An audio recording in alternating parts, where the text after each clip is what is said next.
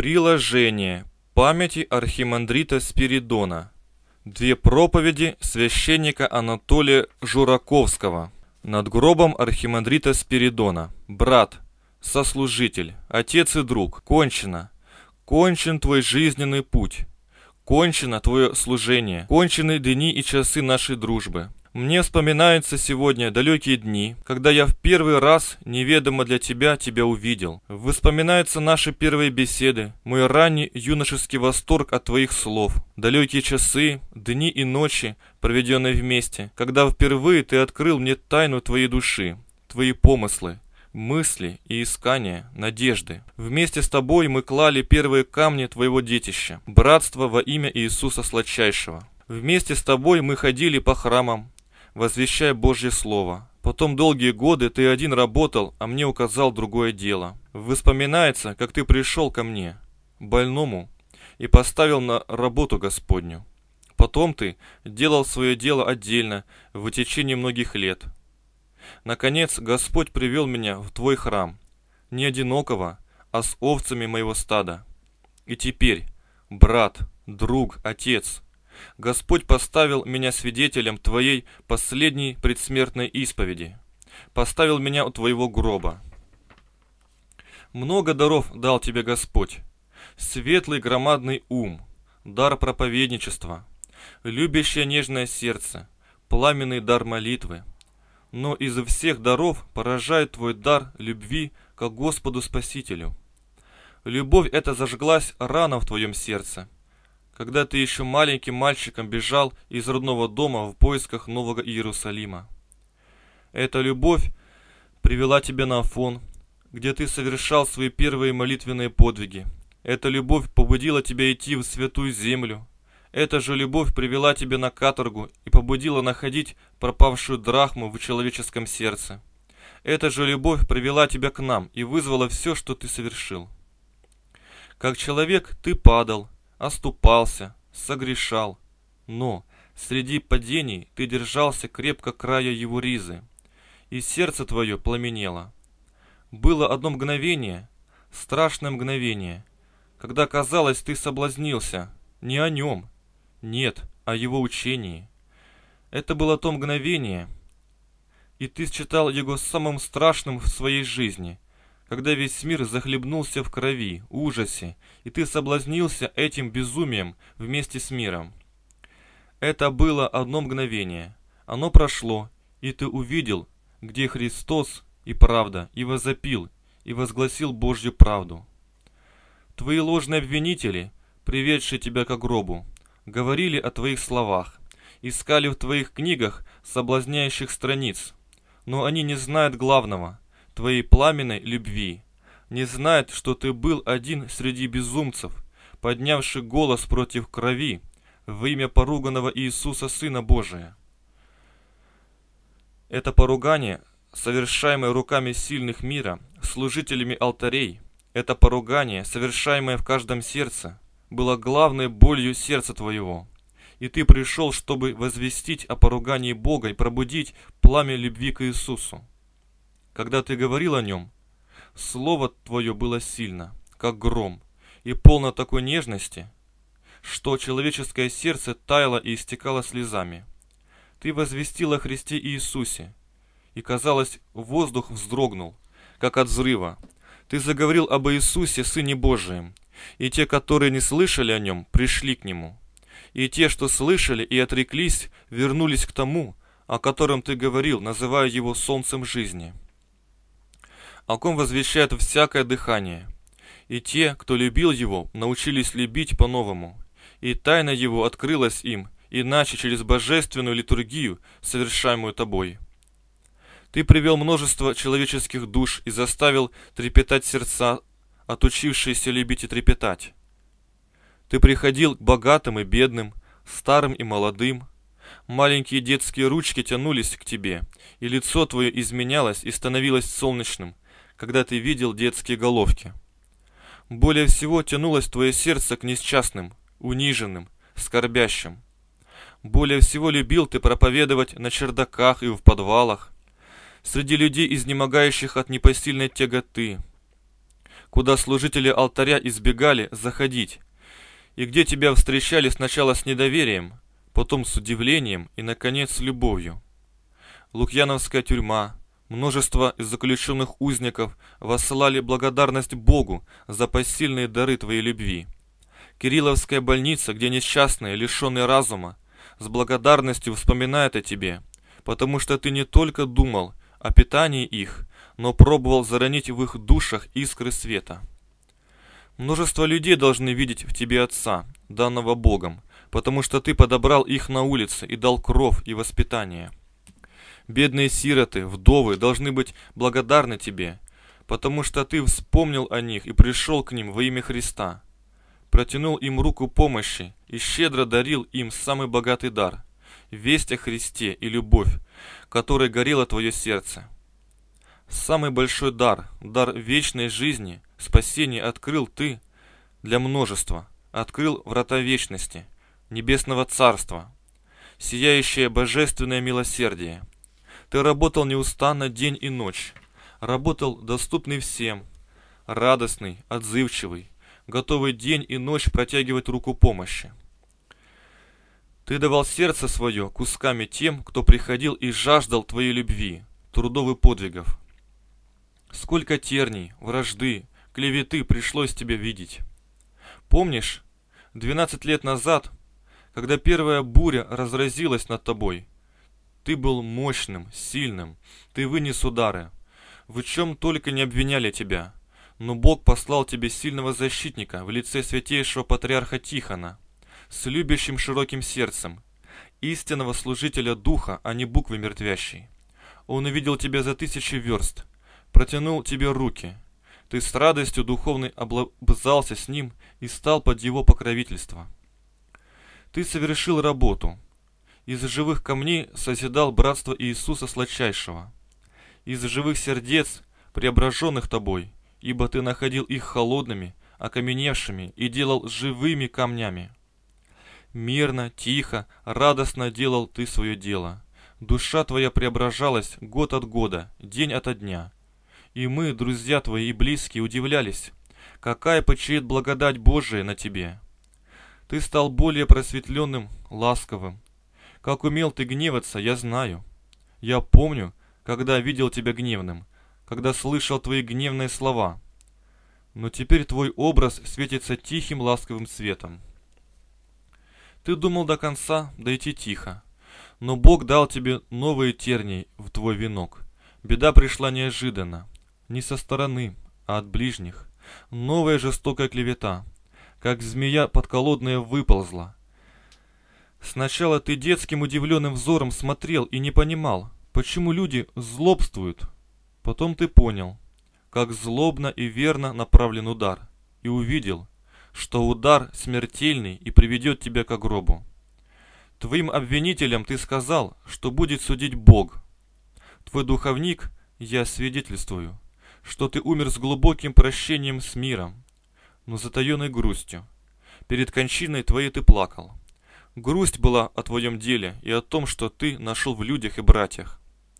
За несколько дней ты предвидел, что кончина близка, и давал наставления. Но никто не думал, что скоро раздадутся надгробные песни. Ты кончил славно.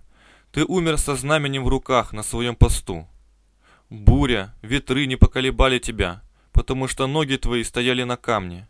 Твоя кончина в день усекновения – знаменательный, скорбный, торжественный день. Твоя кончина блаженна. Мы, стоящие у гроба, не понимаем еще, что ты умер. Мы не можем поверить, что не увидим улыбки твоей, не услышим ласковых слов. Стены храма не будут потрясаться от слов твоих, и алтарь не будет соглашаться молитвенными призывами. Мы стоим перед гробом твоим, и каждый вспоминает, как он умирал от голода, и ты помог ему. Другой, как ты поддержал его ребенка. Третий, как он в первый раз услышал о Христе, и сердце его затрепетало, и было пленено послушанием Господу Спасителю. Мы стоим около твоего гроба, как дети, и овцы стада твоего. Я говорю один, но знаю, что тысячи сердец говорят так вместе со мною. Я говорю от имени тысяч сердец. Друг, отец, пастырь Божий. Я говорю от имени бедных нищих, убогих, сирот, вдов, заключенных, больных, отверженных, грешников, блудниц, разбойников, приведенных тобой к покаянию. Я говорю от имени всех их и кладу перед тобой земной поклон. Спасибо тебе, Отец. Отец, ты слышишь эти слезы? Отец, ты любил, ты имел обычай часто во время проповеди обращаться с вопросом к твоим чадам. Ты спрашивал их властно и властно требовал ответа. Бывало, что перед алтарем они давали обет их верности Христу Спасителю. Ты уже больше не спросишь их о верности. Позволь же от твоего имени в страшный последний час спросить духовных чад твоих. Братья и духовные чада отца Спиридона, учившего вас так долго, обещаете ли вы здесь, перед гробом, как ему на суде Христовом, Обещаете ли всеми силами сердца хранить верность его заветам, наставлениям? Обещаете ли вы не оставлять святого братства, святого дела, начатого отцом Спиридоном, и стремиться ко Христу? Обещаете ли вы? Отец, ты слышишь эти слова? Брат, сослуживец, друг, ты слышишь эти слова обета? Молись Христу Спасителю, как молился здесь, на земле, в храме. Дай силы обеты исполнить, Спи спокойно, брат, друг. иди отдохни. Ты так устал. Твой день так долг. Подвиг так труден. Ты отдохнешь от непосильных трудов, от холодного непонимания, от людской жестокости. Там встретит тебя с распростертыми объятиями твой друг, святейший патриарх Тихон. Если за гробом умеют негодовать, с каким негодованием и скорбью узнает он, что претерпел тот, кого он благословил. Там встретят тебя святители. Там встретит тебя тот, кого ты любил больше жизни, кому отдал жизнь, дыхание. Там встретит тебя Христос наш, Спаситель, наше солнце. Молись о твоих духовных чадах и о том, чтобы Господь и нас, грешных, всех близких, собравшихся здесь у гроба, в страшный день суда привел войти вместе с тобой в Его Царствие, и чтобы там вечности где нет забвения, вражды, где свет не вечереющий, едиными устами прославляли Твоего и нашего Бога, Твоего и нашего Спасителя. Аминь. 1 сентября старого стиля 1930 года. После погребения архимандрита Спиридона. О чем будем говорить сегодня, братья и сестры? Конечно, о том, чем полно сердце и мысль моя, и ваша. Думаю, что все мы дни и ночи думаем об одном, что потрясло наше существо и чего свидетелями и участниками пришлось быть. В это воскресенье мы были свидетелями и необычайного. Эта толпа, тысячи людей, вышедших навстречу гроба священника, необычайно. Эти люди, стоявшие около церкви в течение многих часов, встречавшие гроб на улице, на окраине города, пришли не ради пустого любопытства, суетные мысли – пришли хоронить своего священника, вождя, друга, человека, научившего их верить, любить, молиться. Мы видим, как содрогнулось сердце человека при вести о смерти, кончине близкого, другого человека. И мы видим, что в этом народе тонули немногочисленные священнослужители, которых мы видели впереди. Все было необычайно. Необычайная толпа, цветы, венок, которые несли нищие, толпы детей, необычайны. Может быть, когда-нибудь город наш видел более торжественные, многочисленные похороны, но не было более необычайного, чем это погребение. Необычайного потому, что человек, которого мы провожали, был необычайен, не похож на других. Его путь, служение, священническое было необычайно, и многим казалось странным. И кто хотел соблазниться, соблазнялся. Мы получили наследство, и надо осознать наследство, которое он оставил, ближе всмотреться в его духовный облик, мысли, слова, которые он возвещал и завещал. В его проповедях было много любимых, дорогих мыслей, которые он сам считал важными. Первое – необычайная любовь к Господу Спасителю. В своих воспоминаниях, напечатанных в журнале «Христианская мысль», он рассказывает, как еще в раннем детстве он больше всего молился о том, чтобы Господь дал ему любовь. «Не давай спасения, рая, жизни вечной, дай только любить тебя, сделай так, чтобы душа моя сделалась одной любовью к тебе». Это дар преимущественно любви к Христу Спасителю, могучий перед другими дарами, старался передать он людям. В этой центральности образа Христа и была особенность его. Если спросить христианина, что самое главное в его духовной жизни, каждый скажет «Христос», его образ, лицо, жизнь. Но на самом деле это не так бывает. Духовная жизнь христианина не отличается тем, что средоточием ее является образ Христа Спасителя. Всмотримся в духовный опыт одного, поговорим с ним. Он будет говорить вам о своем старце, наставнике. Вы увидите, что образ этого старика, наставника, заслоняет образ Христа Спасителя. Поговорите с другим и увидите, что хотя он и называется христианином, но христианство ушло во внешние формы и обряды. Дальше внешних форм он не идет, и сущность духовной жизни закрыта для него. Всмотритесь в третьего, и вы увидите, что он возлюбил одного какого-нибудь святого угодника. Так почитает и поклоняется ему, что это заслонило образ Христа Спасителя. Такие явления встречаются на каждом шагу. Редко кто может встретить душу, которая имеет средоточием Христа. Покойный был именно таким человеком. В нем была ревность к имени Христа, которая заставляла внимание всех обращаться к Господу. Он хотел, чтобы образ Христа был в душе каждого человека дороже всего, в духовном опыте и жизни.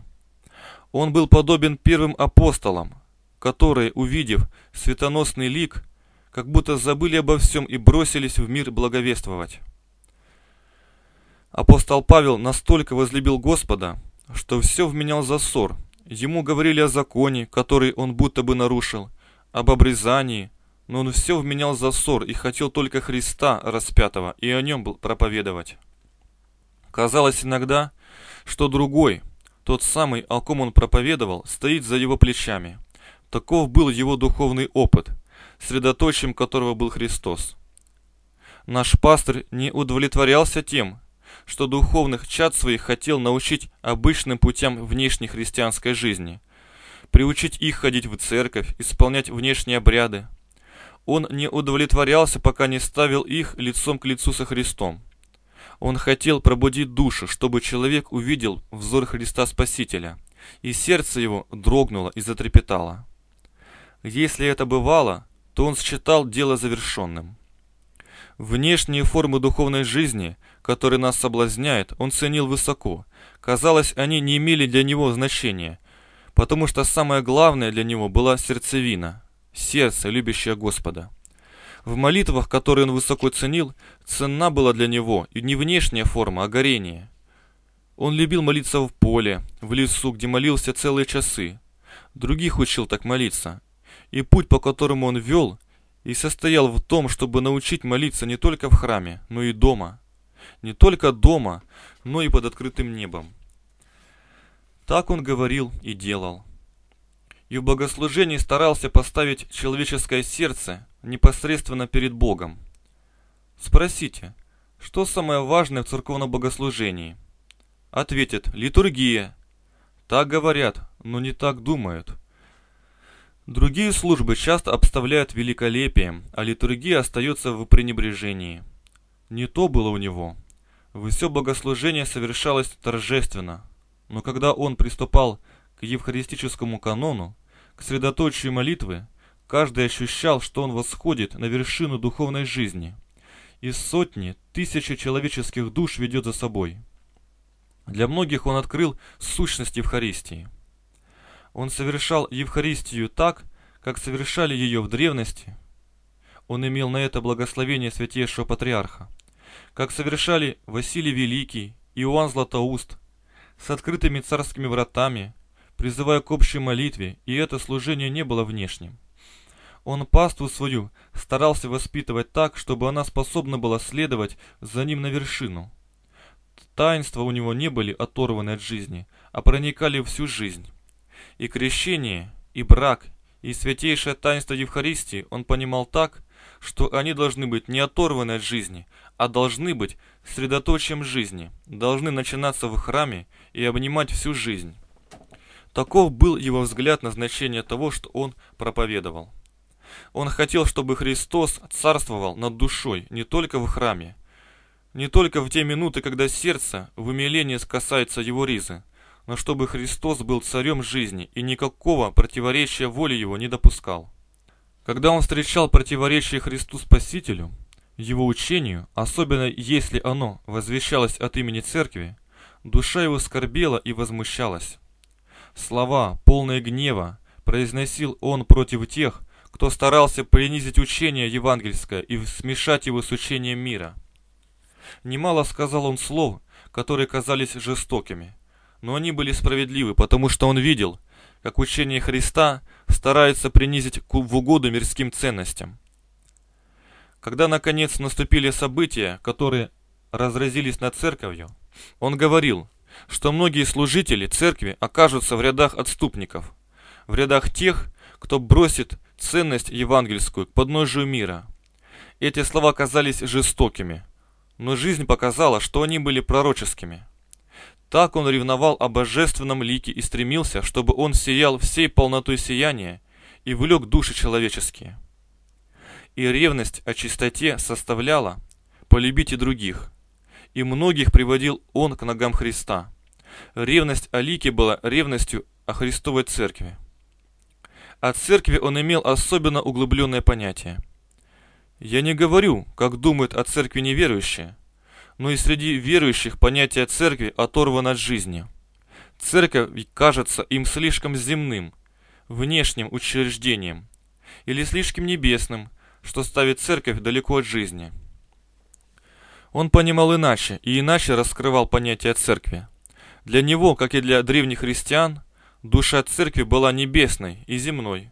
Свое понятие о церкви он получил из жизни великих святителей – Иоанн Златоуст кормил множество неимущих, нищих. Василий Великий построил целый город для бедных, который назывался Василиадой. Амвросий Медиаланский выкупал пленных. Киприан Карфагенский руководил христианами, которые спасали больных во время чумы. Вот образы, которые пленяли его сердце. Он верил, что церковь должна быть утешительницей скорбящих, обремененных. Должна идти, как шел Христос, сея любовь, собирая расточенных, являя верующим и неверующим образ воплощенной любви. Любовь человеческая должна сиять как внутри церкви, объединяя члены церкви в единое, живое, трепетное тело, так и вне церкви, на верующих, далеких, отступивших. Наличная церковная действительность не удовлетворяла его. Он скорбел, обличая и хотел найти иные пути церковной жизни – чтобы собрать верных в единое тело и научить деятельной любви друг к другу и ко всем скорбящим, обремененным и нуждающимся. Он возродил древний церковный идеал, и это было совершено в нашем городе. Как не ужасны были условия, при которых проходило его служение, как нетрудно было дело, мы видим, как много он сделал. Он показал и верующим, и неверующим, что такое церковь и священник. Неверующие и отошедшие от церкви увидели образ пастыря, полного любви. Верующие увидели, что можно соединиться воедино, и христианство является не только в молитве, но и в любви. Таковы его мечты, надежды, заветы. Он видел сокровенным духовным взором то, что было наиболее существенно. Особенности его служения, первое, Ревность о Христе и верность Христу Спасителю как средоточию жизни. Вторая – образ церкви, как чего-то такого, что создано силой, которая сеет любовь, мир, свет и блаженство. Эту мысль он старался воплотить в своем служении. В борьбе за эту мысль он окончил свою трудную страдальческую жизнь. Не смущайтесь тем, что он был плохо понят своими собратьями и верующими – Закон христианской жизни в том, что каждое высокое служение вызывает преследование, непонимание и пламенное противодействие. Где нет этого непонимания, противодействия, служение кажется подозрительным. Он ушел, совершив что мог. уходя держал в руках знамя, на котором были начертаны заветы, истинное служение Христу и Церкви. Мы держим то же знамя, которое он держал. Это знамя обязывает нас, возможно, более сознательно относиться к духовной жизни и церковному служению. Велика. Бесконечно велика утрата. Мы почувствуем все ее значения не сегодня, а после, из месяца в месяц, из года в год. Наши малые ряды поколебались, потеряв его. Как бы ни было нас мало, и как бы путь наш не был путем скорбным, полным терний, как бы ни была велика утрата, мы не должны падать духом. Знамя, выпавшее из его рук, мы примем и понесем, как умеем, навстречу мира.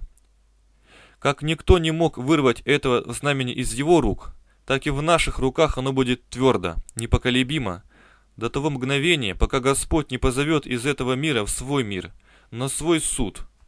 Аминь. 3 сентября старого стиля 1930 года.